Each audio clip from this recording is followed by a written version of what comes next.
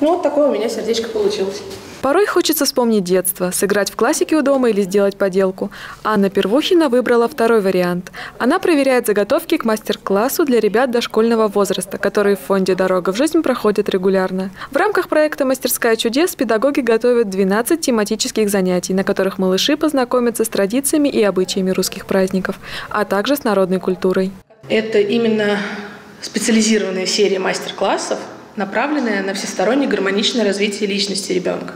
Поскольку задействованы детки дошкольного возраста, это очень интересное состояние, когда ребенок как губка впитывает, и можно максимально четко раскрыть его потенциал, увидеть вот эти его основные сильные качества. А, и именно с этой вот позиции, с этой именно как бы теории мы вышли как раз вот на конкурс.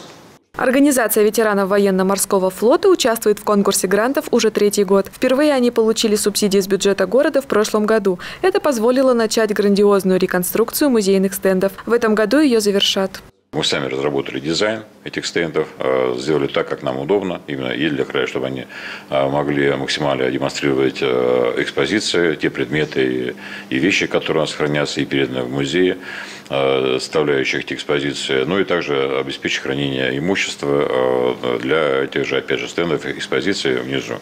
Фонд «Дорога в жизнь» и Саровский музей военно-морской славы вошли в девятку лучших социально ориентированных некоммерческих организаций Сарова, выиграв конкурс на предоставление субсидий из бюджета города. Заявку на грант подали 13 претендентов, отобрали самые яркие и полезные для саровчан идеи. Мы же еще оказываем консультативную помощь социально ориентированным некоммерческим организациям.